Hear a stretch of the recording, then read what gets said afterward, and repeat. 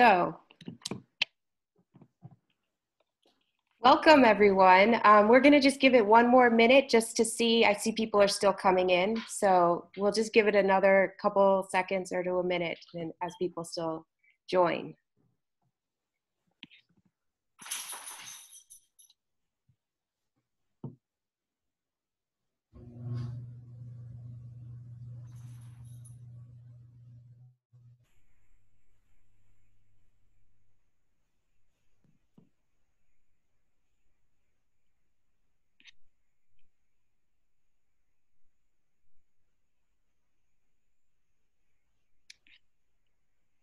Right, so let's just, sure, let's, so we're gonna get started. Um,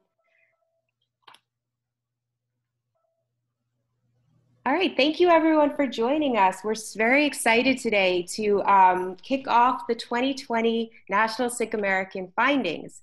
Um, today we have some very special guests.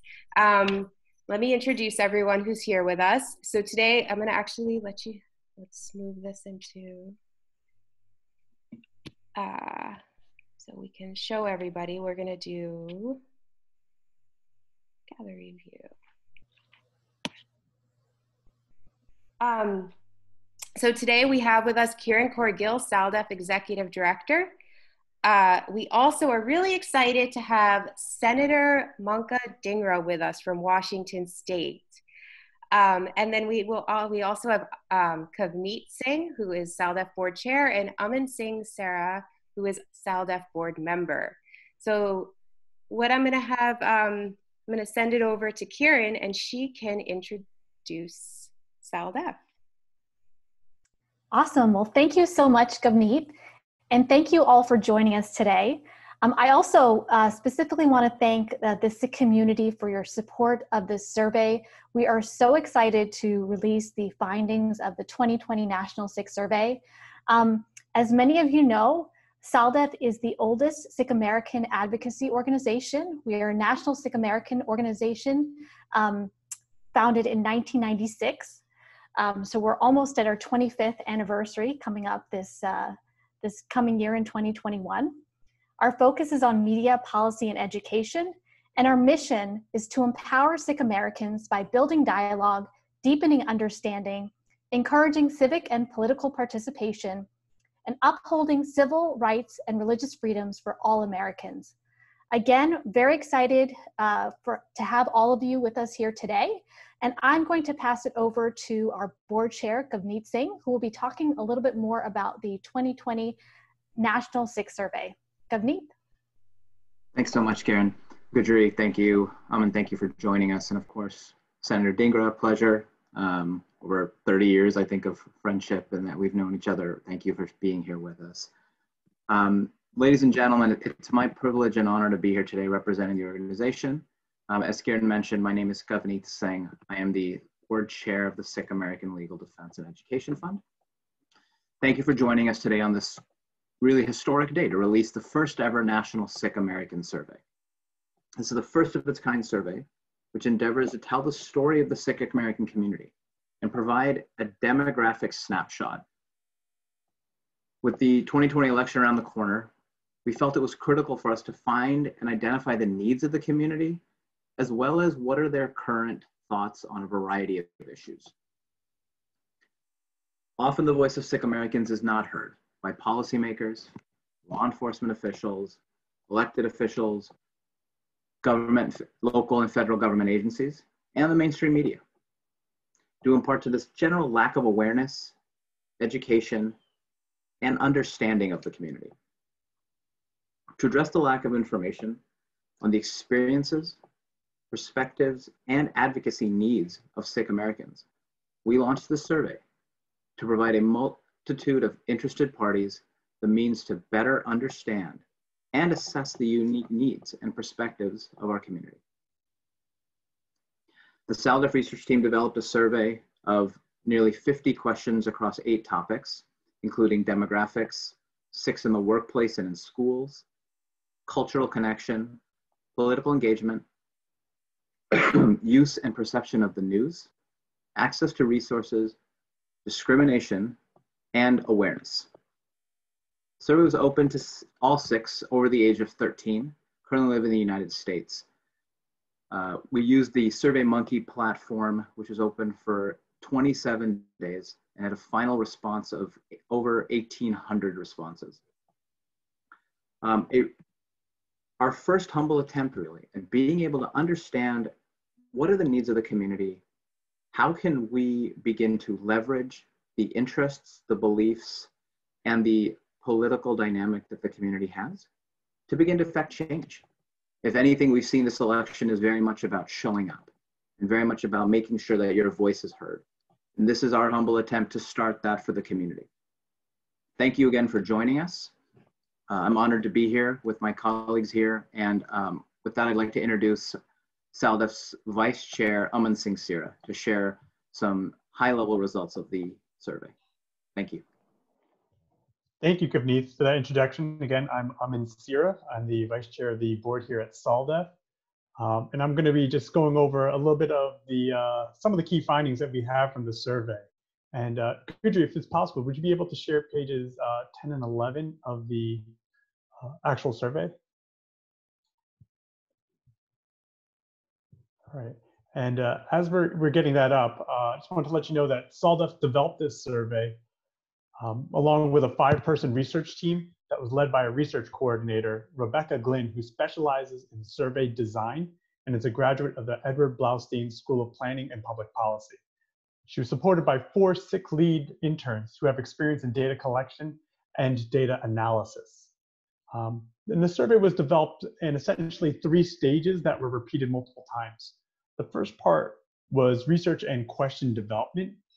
Um, they researched uh, a lot of previously done um, surveys, uh, including from the Pew Research Center, uh, Monmouth University Polling Institute, and Public uh, Religion Research Institute.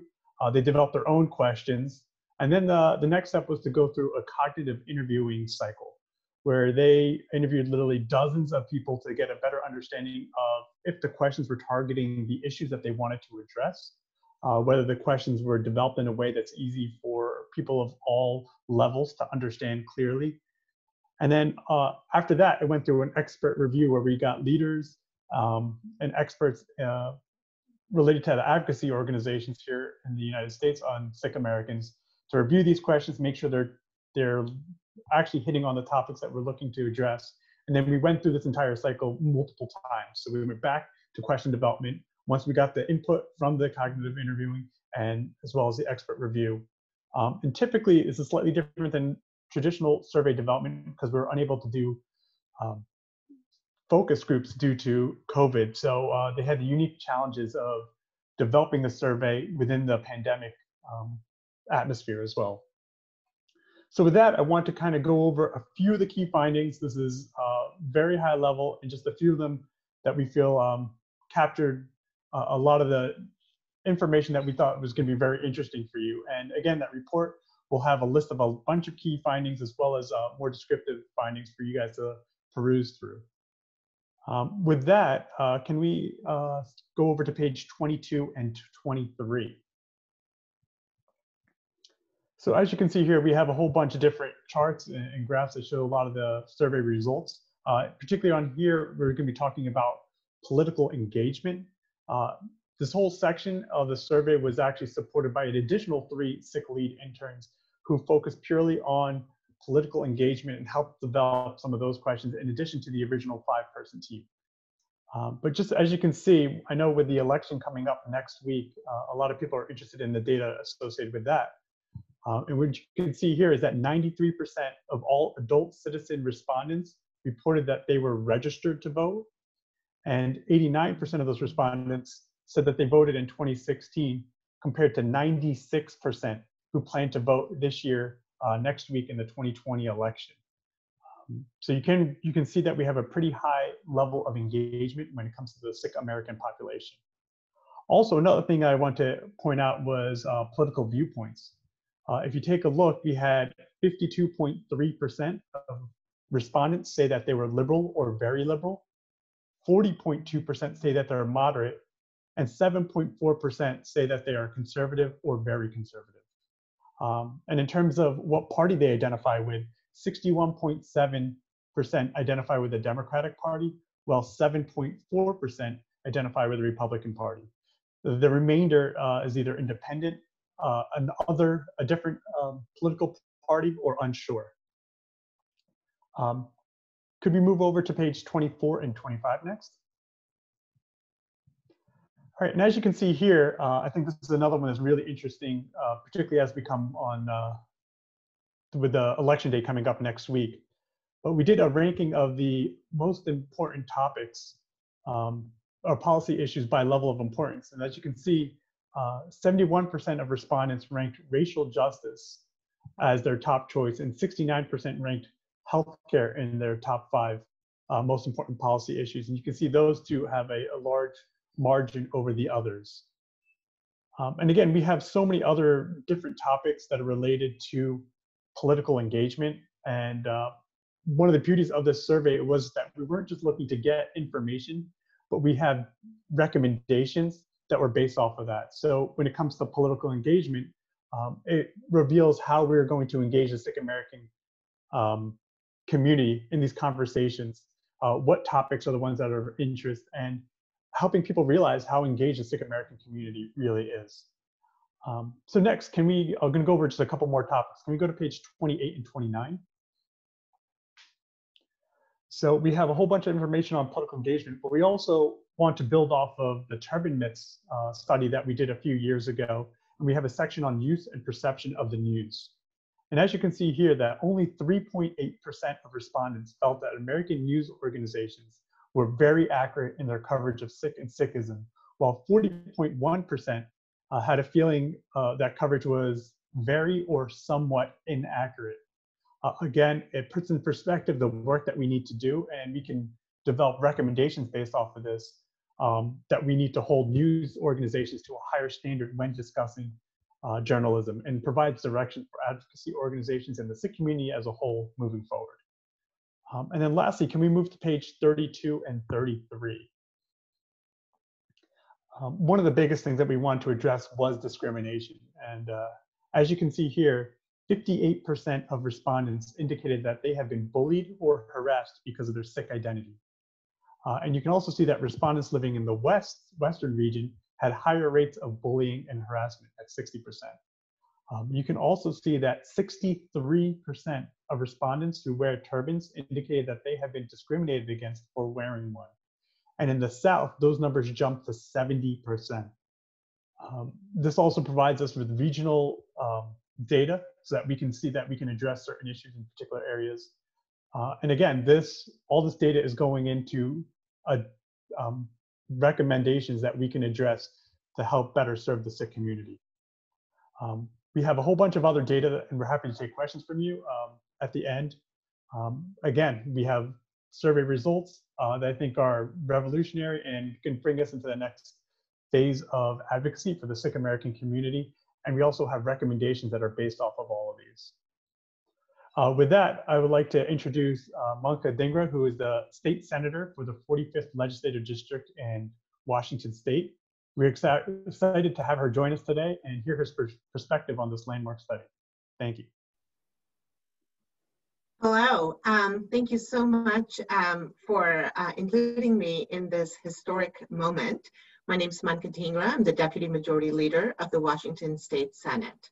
In 2017, I was the first Sikh ever elected to a state legislature in the United States. Let me first say thank you to SALDEF for the work they're doing and have been doing in the Sikh community. Real change comes from the communities, and that means that we as elected leaders have to listen to people about what their community needs are. In addition to having conversations with people, it's vital that we have numbers to give us the big picture. For too long, data has been missing for Sikh communities in America. This survey is a wonderful step towards filling that gap. Personal stories are very important, but the combination of data along with those experiences is what drives policy. Two numbers immediately jumped out to me from the results. First, that 80, 93% of adult citizen respondents reported that they were registered to vote. That's an incredible rate. and an incredible commitment to civic participation. The average across all groups is only about 65%. So Sikhs are far ahead in voter registration. But the second number is not so reassuring. Only 6% of respondents felt that elected officials are always listening to the needs of Sikh Americans. That reflects an alienation from a political system that is troubling to me, but it is one that I can certainly understand. When I decided to run for office, there were concerns about how my family would be perceived by voters. We know all too well how men wearing turbans, like my husband, can be treated in American society. In fact, the survey shows that 63% of respondents who wear turbans have experienced discrimination. And I have seen that firsthand with my grandfather, brother, and cousins while growing up in California. So it was crucial for me during my campaign to make sure that our entire family was proudly displayed. While we did get some racial attacks featuring my husband, we were overwhelmed by support and acceptance from our broader communities. And that's one of the great lessons that we can draw from this survey. Discrimination and harassment are real, but we can work together to transcend them. We can work together through the political process as well as in our communities and our schools to educate our neighbors and raise awareness. I know that many parents like me have spent a lot of time in our elementary schools teaching classes about Sikhism. As the fifth largest religion in the world that is based in prom promoting equality among all people, humility, and service to others, and has been a part of the United States for over a century, we have to create a curriculum that includes Sikh history in our schools. Sikh Americans are engaged and enthusiastic. What we need are channels for that energy. I was heartened to see that one of the most important policy issues for Sikh Americans is racial justice. I was a senior deputy prosecuting attorney for 18 years before I ran for the Senate and I got involved in hate crimes after 9-11 when a local Seattle Sikh cab driver was assaulted. I have conducted the SALDEF's Cultural Awareness Training for law enforcement officers in King County, and I've seen firsthand the results that acknowledgement, awareness, and education can bring. The survey reveals that equality is not only one of the barriers facing Sikh Americans, but also one of the areas that we're most passionate about. Representation matters. To get our issues on the table, we need people sitting at the table. And this survey is a great call to action. It is only thanks to the tireless work of groups like SALDEF, which put the important issues in perspective, that we have the collective will inside the legislature to make progress on those issues. I look forward to working together towards meaningful change and more meaningful engagement. Thank you.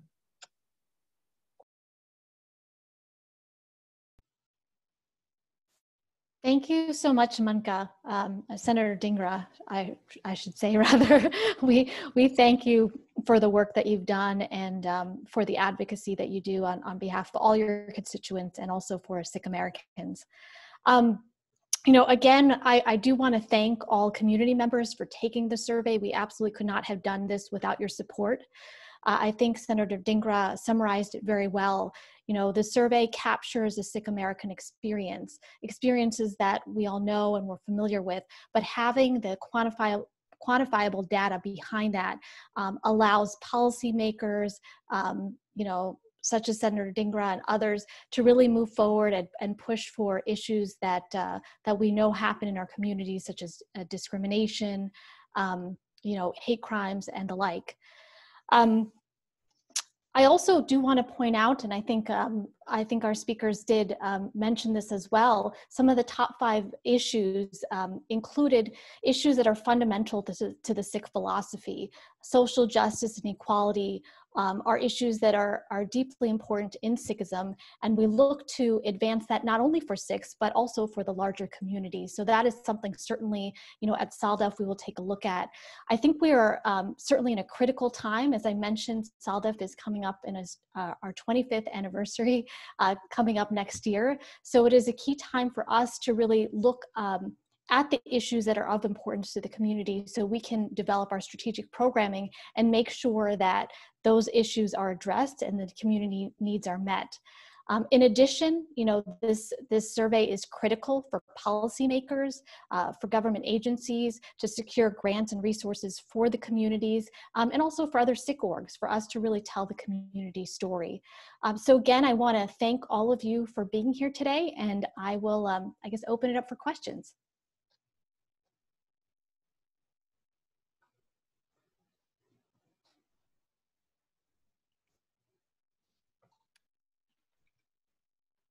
Hi, everyone. Um, please feel free to type your questions into the chat. Um, you can also, if you have any questions, um, raise your hand and I can unmute you and you would be able to ask.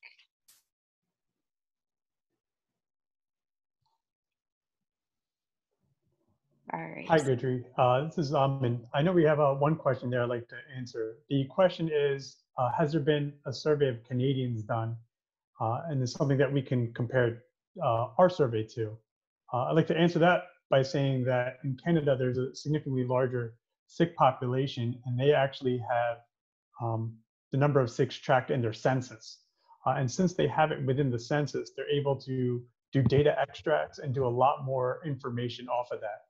Uh, since we are not tracked within the current US Census, having the Sikh survey is of even more importance because it creates a baseline for us to start the, that, the research that we need to move forward as a community uh, as well as in, as advocacy organizations.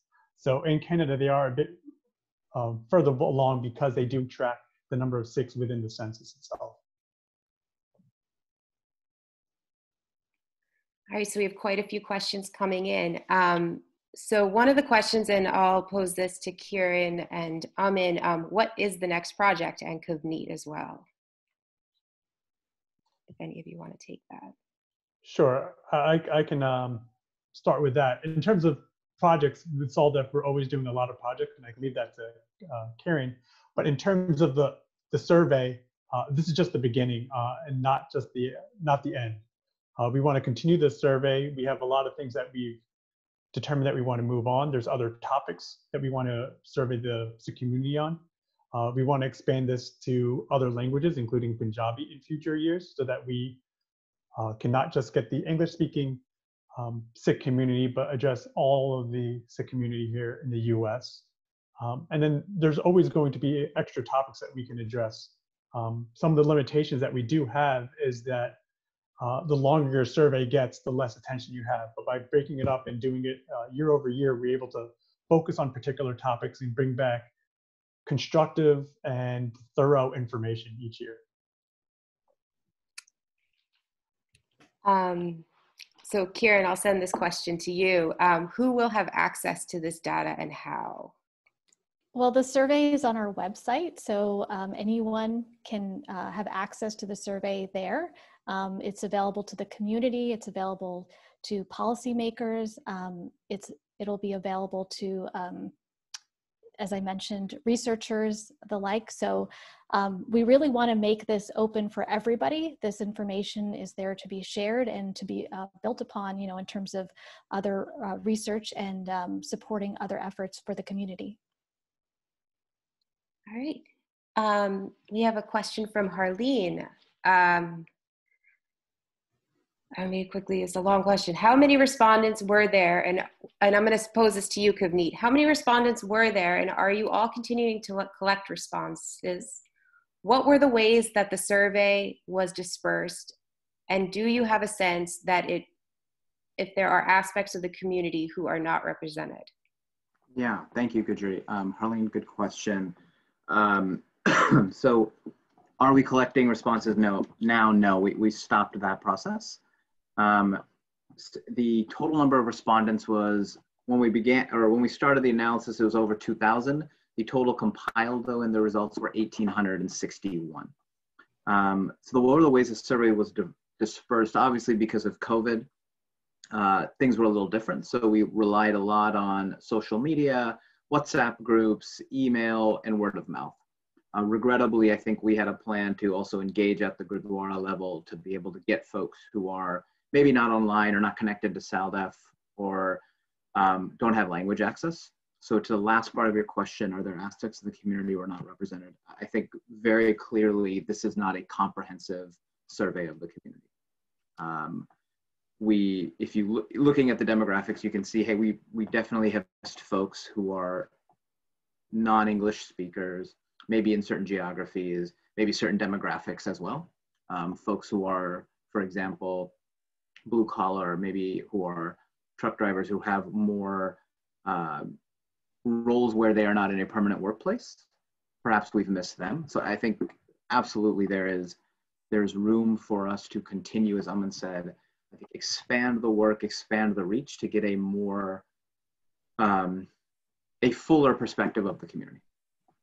And I would just add to that, it is SALDEF's goal to to do this survey, um, you know, on a um, either annual bi- biannual basis, so or uh, every annually or every other year, just to continue to get that feedback um, from the community because I think that is really important, and we want to make sure that we are, you know, in front of the issues and that we understand that for all the reasons that I mentioned previously. Great. So I'm going to just um, unmute you, Jasjeet, and see if this works and if you can ask your question. Can you guys hear me? Yes. Okay, good. Well, I'm driving, so I hope I don't drop the call on I-95. Um, so uh, this is uh, Jasjeet Ahluwalia. Uh, hi, Aman. Hi, uh, Kavi and uh. Good to see you guys. This is great. Uh, I participate in the survey, and I think, you know, as an academic physician scientist, anytime there's data, uh, that means we've got knowledge and we can do something about it. Uh, as our senator said, that you know, without data, you really can't do anything, and the data is, of course, no surprise, extremely uh, disturbing. Uh, as someone who wears the turban, I'm, I'm well aware of this. Um, so, you know, one of the things to think about, right? I love the question when someone asks, "What's the next project?" Um, and I, you know, I've got that. And in fact, before someone asked that, I wanted to set up a call uh, with you, uh, Kavi, and uh, and uh, Aman and, and Kiran to talk about it. Which is, uh, you know, so I'm I'm obviously in health and health, and uh, my area of work is in disparities and discrimination stress. So if you think about this data, obviously has ramifications with regards to the political process, uh, all that kind of stuff, and and and and, and bullying. But the net result then becomes actually health, believe it or not. Or not. There's PTSD, there's depression, there's anxiety, um, and the list goes on. And then that has sort of a spillover effect to hypertension, the horrible diabetes that occurs in our community, and so on and so forth. So I'd like us to uh, think about that. If you uh, email me, maybe we can set up a call, a four-way call. But maybe one of you can respond to that as that come up and, and, and, and, and so on and so forth. Uh, because, you know, no one's really doing that kind of work in the U.S., um, unfortunately, not even me. Uh, my area of work is with African Americans, but I would love to get some more work on this and then eventually use this pilot data uh, to secure NIH funding. Thank you for letting me speak. All right, thanks. I I'll just respond to that. I think Jasjeet, you, you brought up a great point, um, and I think there's a lot of applications for the survey data. That certainly is one of them, and I'd love to follow up with you and discuss that um, in further detail about how we um, might be able to address that issue. Thank you. All right, so we have a question for Senator Dhingra. Um, what future steps can we take to further the hate crime laws that are currently on the books? Um, thank you so much for that question. You know, as I mentioned, being a senior deputy prosecuting attorney, I've worked in uh, the hate crime arena. And, you know, I um, used the SALDEF law enforcement uh, cultural awareness training way back early in the days um, and used it at the prosecutor's office as well as uh, local law enforcement. And creating that awareness is, is critical. And it's also the manner in which we report, uh, report hate crimes. I think there's a huge underreporting in our community because our understanding of what constitutes a hate crime is um, is different, right? People um, think only if you're assaulted or physically or hit is when you report it, and even then, then there's reluctance to do so. I think it's really important to create that awareness at any time you are in a situation where you feel unsafe or feel threatened regardless of physical force being exerted on you, it is imperative that we call local law enforcement and report it. Uh, doesn't mean that you have to have an arrest necessarily. Um, it may mean that there is really no investigation, but having that voice, having that incident reported is very critical. And this is where I think that data combination with the stories is very helpful. You know, um, I grew up with my brothers and my cousins telling me stories of what happened at school and what people would say. No one ever thought to report those incidents. Um, I agree, that was 30 years ago, but those are incidents that need to be reported and should be reported. You know, I have stories of my grandfather uh, driving down the street and at a stoplight and someone yelling at him, um, you know, about his turban and things like that. And, you know, he just came home and he was upset. Today, you call and you report it because behavior like that is unacceptable. And so when we feel that discrimination, when we feel that um, hate, it has to be reported and captured. And once you have that data again, that is when you know that people will start paying attention. And that is why the survey is so critical is because you need that combination of personal experiences along with that data reporting. And hopefully now people can understand why we have to make sure we are reporting hate crimes. And once we have that data captured at the local level, we can really make sure that we're taking action around it. Great, and that actually kind of follows us into our next question. Um, so this I, I'll pose to Aman, Kiran, Kavneet. Um, are we going to start looking to develop data on sexual abuse within our community and um, create kind of spaces for Me Too movements? Sure, I'll take the first part of that, and uh, I can pass it on to uh, Kavneet and Kiran for the second part. Um, in terms of the survey itself, we did look into um, questions regarding sexual abuse, uh, but we did decide to pass on that for this round because we want to partner with organizations that focus primarily on sexual abuse to make sure that we are protecting the rights of victims and not triggering uh, any unwanted um, PTSD and other emotional stress that um, was stated by Jasjeet actually earlier.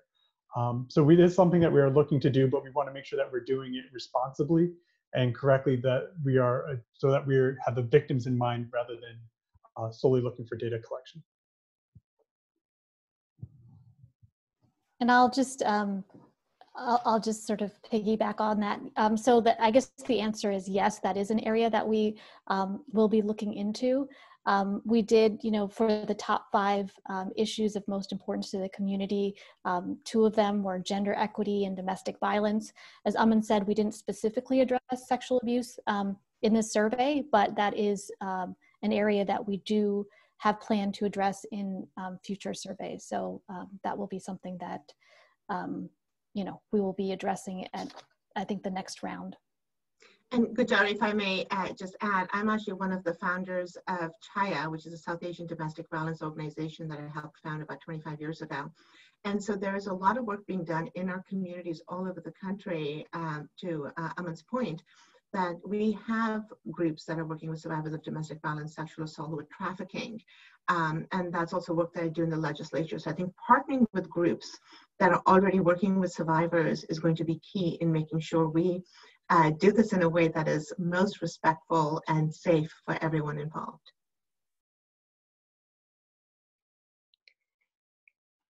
Great, so we have another great question. Um, looking at the report, will SALDEF team with other, organiza- will, with other organizations uh, work to develop training videos for communities, specifically cultural sensitivity for local city councils or police? I'll let any of you guys take this question. Kiran, I'll send it to you. Yeah, sure. I, am happy to, to jump in. Oh, okay. Um, go, go ahead, yeah, I, am happy to jump in. I think SALDEF has a long history of being really a pioneer in law enforcement and civic uh, trainings across the country. And so I think as opportunities arise, absolutely, we're already beginning to look at how do we engage first responders more? Uh, we focused on law enforcement, security personnel, um, airport screeners for the last almost two decades. And now looking at where else do we see the opportunity that individuals have direct interaction with the Sikh American community, but don't necessarily understand why we do certain things or why we look certain ways.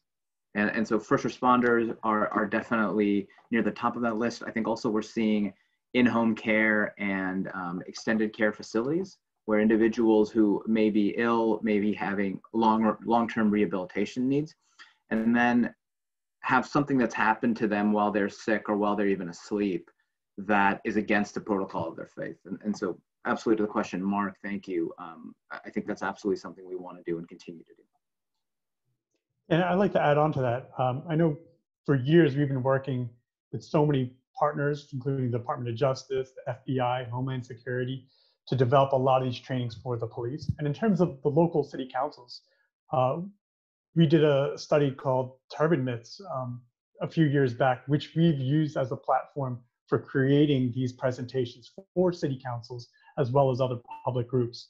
I think having the survey now uh, just allows us to have more data and refine those presentations with current updated and more specific data that really addresses the issues. So we are absolutely going to be transforming this into presentations that we use for city councils as well as other public entities. Okay, I also want to remind everyone that they can raise their hand if they want to ask their question um, in person. Uh, we have one, um, which, um, I think I'll give this to you. What is the age distribution from the survey? Sure. So uh, our survey captured people who are age 13 and up. Uh, we did have respondents below that, but we took them out of the pool. Um, our distribution was relatively pretty even. Um, we broke it up into seven different groups, starting from age 13 to 17, so we can capture that uh, primary school population. That was right around 9% of our respond, respondent pool. Uh, and then we had a group from 18 to 24, 25 to 34, 35 to 44, and 45 to 54, which were all uh, between 15 to 20% of our respondent pool. And then uh, the last two upper um, limits, which are 55 to 64 and 65 and up, were both over 10%. So we had a pretty good age distribution. Um, so we're able to capture from different generations uh, within this um, within our data pool. Hi, so we have a long question from Mandeep. I'm going to sh um, shorten it up a little bit, and this is for you, Senator Dhingra. In the continued uptick of hate crimes, um, how do we as a community come together, I mean, and even begin to address these?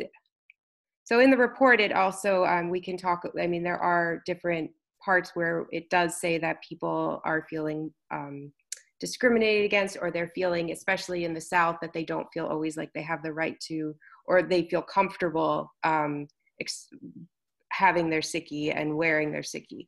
So, um, how do we as a community come together and even begin to address these? And it's, I'll continue his question. It seems to me like these hate crimes are seen as the specific area problems and not the Sikh community problems.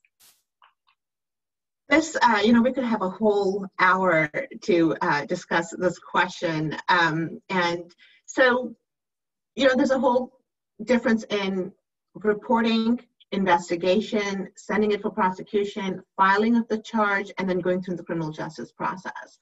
And uh, a lot of that, um, I think there's struggles there for a lot of different communities, and not just with the Sikh community. So I think there is some similarities there.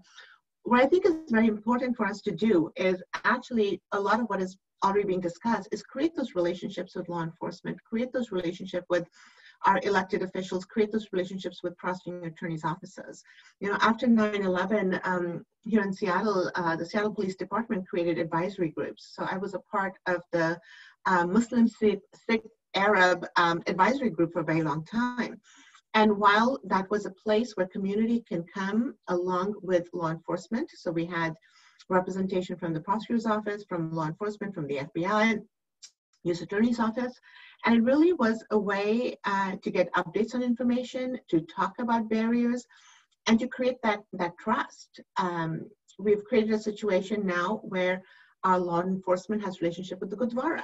They actually will just go in and stop for longer. They understand the traditions um, and they also understand that sometimes during elections there may be a scuffle that has happened in the Gurdwaras in our area. But there's an understanding of what that means and the context around it instead of getting a 911 call and showing up and not knowing what's going on. So uh, while we absolutely have to do work in our criminal justice system, there's a lot of work that can be done in building those relationships, in building those trusts, and having those conversations that are really important. And so I'm uh, really hoping that organizations like SALDEF or local Gurdwaras will actually take the time to start engaging with the community in a different way. And I've seen um, that happen already over and over again. Um, you know, recently we had, actually before COVID, we had the big Gurdwara in Vancouver, Washington have its opening. And it wasn't just an opening that was done for um, Sikhs, right, or Indians.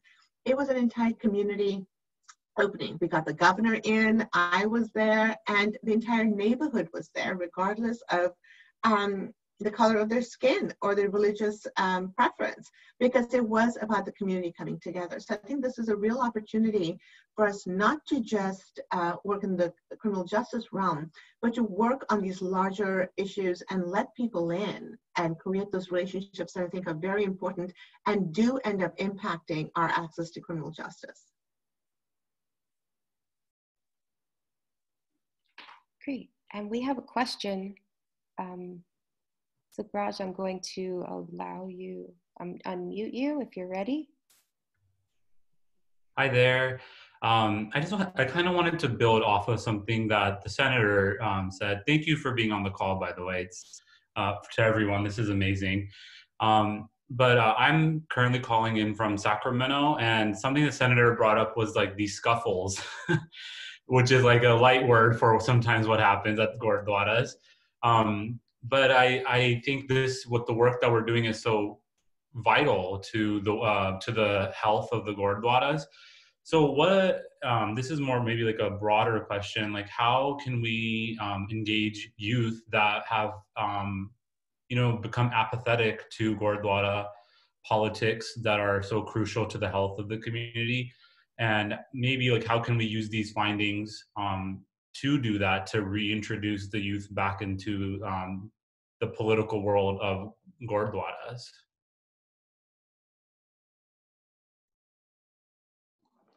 I'm happy to start that answer on that one, and uh, Kiran and Kavneet, feel free to chime in uh, however you like. I think uh, as an organization of SALDEF, part of what we want to do is to increase that political engagement uh, I think that we see uh, a lot of that political engagement. Um, you see it in the survey itself that the number of people are very engaged, and even the youth is very engaged. Uh, I know that we have a bunch of projects and programs that we're working on from law enforcement policy programs as well as know your rights forums that combine the, the knowledge that we have and then work with the local Sangats and local Gurdwaras so that they can become more engaged. And I think as the Gurdwaras become more engaged, they will start to draw in the youth because they realize that they can make a difference in their community. They can change um, and have an actual impact in the way that Sikhs are perceived. Uh, and as we make those connections and allow the local Sangats to have the connections with the FBI, with Homeland Security, with their local police departments, we will start to bring in the youth. And a lot of our other programming, including our Sikh Lead program, is directly focused on Sikh youth. And we go through an entire training series, uh, both through our internship program as well as our leadership development program, which focuses on political engagement, being involved, making sure that your community, your local community, your Gurdwara are involved in politics um, so that we can make a difference and have our voice be stronger. Yeah, and I, I would, to, to Aman's point, I would add, I think the the role of the Gurdwara has has morphed in the history of our community. And I think if we look back a generation, we see it really as this solely as a religious center and social um, connectivity point. And I think you're seeing now the, and that was necessary as we saw post 1965, the immigration of our parents, our grandparents to this country, they needed that place together. I think what you're seeing now is the ability of the Gurdwara to really fulfill its true role. It's not just a religious center, but it's a social center and it's a political center. And how do we begin to use the Gurdwara as that place, as the center of activism and engagement for the community? So whether it's senior centers, whether it's language programs for newly new immigrants, uh, whether it's hosting political forums so that our local elected officials have to speak to our issues. I think that's the, the critical role of the Gurdwara and how we can um, begin to use it as uh, the powerful entity that it is. So, Grudge, thank you for your question.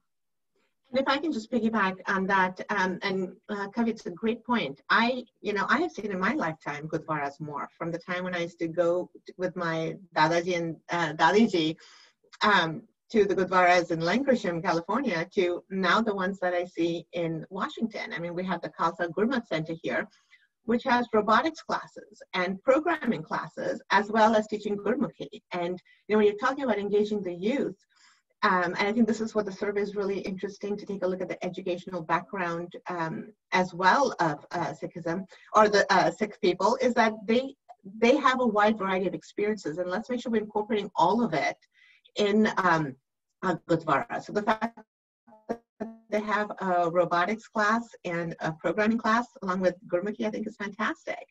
And on Khalsa Day, um, our Renton Gurdwaras, every elected official in the area is there speaking, also because they want longer, but um, you know, and over and over again, you know, I take my campaign team to Gurdwaras and they're like, really? Like, you don't have to pay for any of the food? And I'm like, no, you don't and you know that awareness and just um, is huge and the manner in which sikh americans well actually sikhs all over the world have stepped up during covid has just been fantastic to see and i think that um, experience and and what's in the news around what sikhs are doing all over the world along with the survey i think really can tell a very compelling story of what it means to be a Sikh american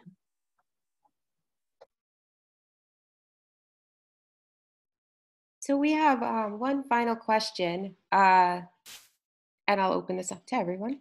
Um, once the census data is out, do you feel it might be important to compare the data, our data, with the census data? I, I can start off, and then I would love to hear from uh, Aman since you're so involved, and then Senator Dhingra being a, um, a Politico. Uh, but, but I think the answer to that is yes and no. Right? Yes, absolutely. Can we compare it to certain metrics that are in the census? Of course. But the data that is in this survey is a wide ranging set of questions that the census will not be talking about. And so, absolutely, can we use it? I think of it as a, another tool in our toolbox to tell the story and to advance the, the needs of the community. Sure, and I'll, I'll build off that. And, and again, it's, as Kavneet said, um, the census is looking at a lot of the demographic information, but here we're specifically targeting the Sikh American community. Uh, and I think that we're addressing issues that people want to get addressed, and we're getting feedback about issues that people want to get addressed the next time we do a survey. Uh, I think we can tailor it. Um, there's ways to link it to the our census data, but um, we'll look at those tools to expand the information that we do have. But I, I think the survey uh, on on its own uh, just provides tremendous value.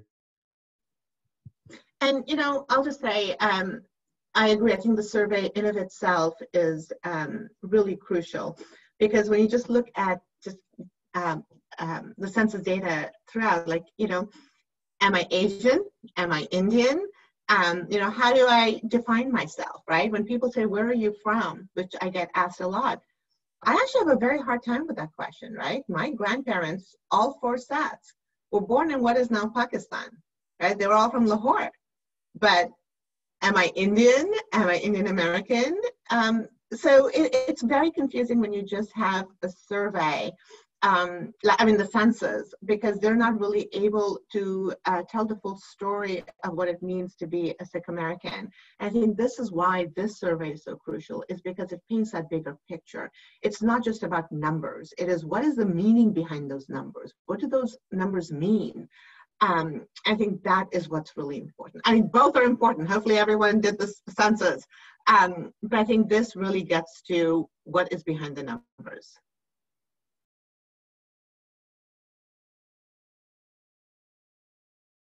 All right. Are there any anyone have any final comments before we wrap up?